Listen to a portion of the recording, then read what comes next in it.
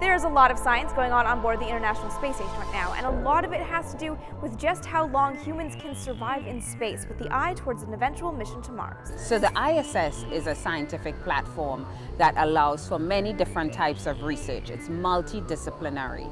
So we do research in the biological sciences, the physical sciences, earth and space science, but because of the presence of human beings, astronauts, crew members, we are able to use them as subjects to do human research and really to learn how the human body adapts to a microgravity environment over a long period of time.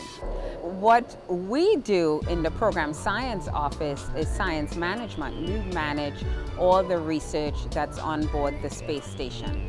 And specifically, our, one of our main jobs is communicating the research, not just from the US perspective, but across the international partnership.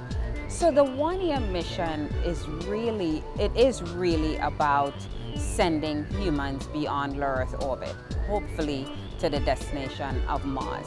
Understanding the effects of long-duration spaceflight on humans is a huge part of NASA's journey to Mars. It's a journey that has already begun with the experiments going on on board the International Space Station, and it's a journey that continues.